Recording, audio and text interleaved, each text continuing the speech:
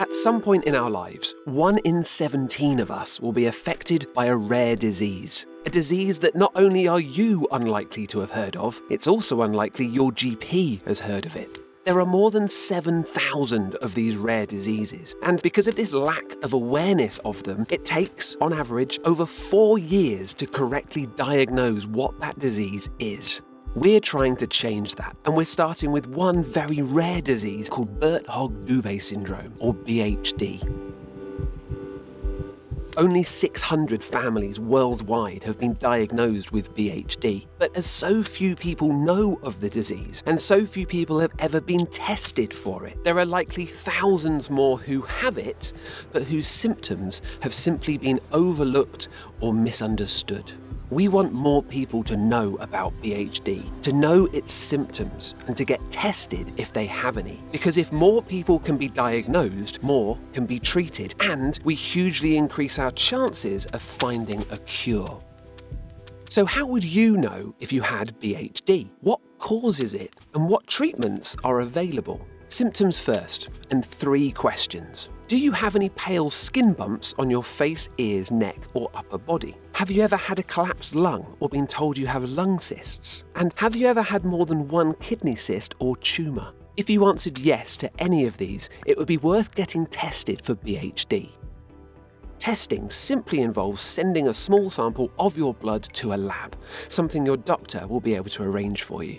The test is looking for something specific in your DNA, in the instruction manual that sits inside your body's cells. DNA is made up of around 30,000 small sequences of code called genes. They each tell your body how to make a particular molecular machine, a protein. One of those genes is the folliculin gene, and like all genes, you have two copies of it in your DNA. If there's an error in the code inside one of those folliculin genes, then the proteins made from that faulty genetic blueprint won't work properly.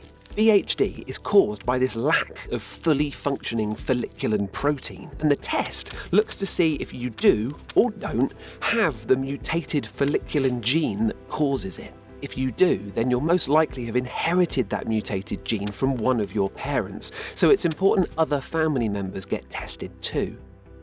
The reason it's important to spot the symptoms and test and diagnose BHD as early as possible is that 30% of BHD patients develop an error in the second copy of the folliculin gene in one of their kidneys, and that leads to kidney cancer.